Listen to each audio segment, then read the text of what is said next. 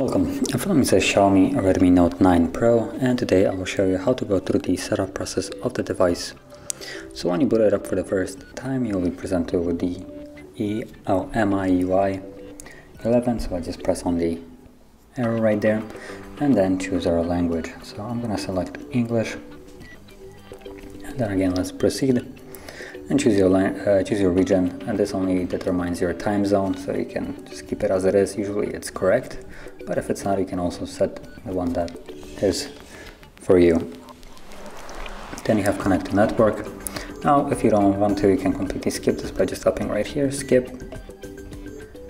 And let's go to uh, that I have read terms and conditions now if you want to read them you can tap right over here and here you have all the terms and conditions and we're done reading, cool. So let's proceed on. Then you have Google services, so you have localization, scanning, and also send user and diagnostic data. Uh, now, the first one is good for like Google Maps to allow you get accurate route to your location uh, that you have chosen.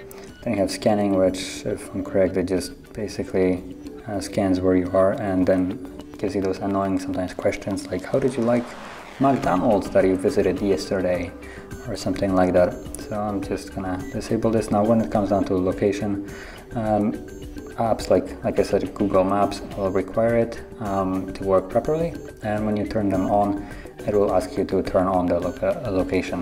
So you'll just have to confirm it. And then on the bottom you have the send user and diagnostic data. Basically scans what you're, uh, what you're doing, on the phone, I assume, and um, and sends um, basically data to improve the usability. Now you can basically read all of this, extend it, and see what it exactly does, as you can see right here. And then at the bottom, once you scroll all the way down, you'll have accept. Here you can choose to add a password and you have two options. You have the uh, screen lock and then fingerprint. Now if you choose to take a fingerprint, you will need to set up also a screen lock, uh, but the other way around, you can have only a screen lock and no fingerprint. I'm gonna skip this for now, I don't really feel like setting it up. And then you have again, uh, things that we have already disabled, location, uh, user experiment programs, uh, diagnostic data, uh, send them automatically, that's nice. Um, automatic system updates, so going straight through those, um, we already chose to turn that off, at least I did user experience uh, programs, uh, no thanks. Uh, send diagnostic data automatically. Um, it's not supposed to send it at all, like I chose that. Then automatic system updates. Now, even if you disable this, I'm pretty sure it's, it's useless.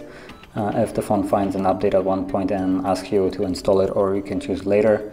Um, that later is usually during the night where you cannot put it off again. So that's kind of uh, unfortunate and then you have personalized ads, uh, probably one of the most intrusive parts of this.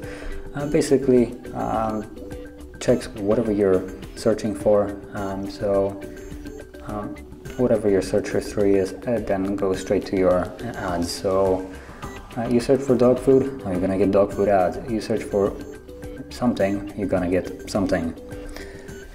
So let's just tap on the arrow after we set that, and then you have the two themes to choose from. Uh, other than how they look like, nothing really differs between the wallpaper and icon packs. Um, you can customize it later on anyway.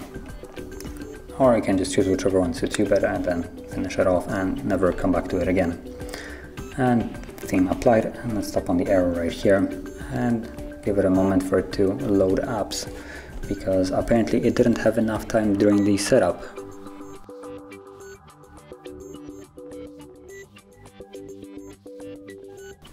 And there we go. As you can see now the setup is finished and we're on the home screen.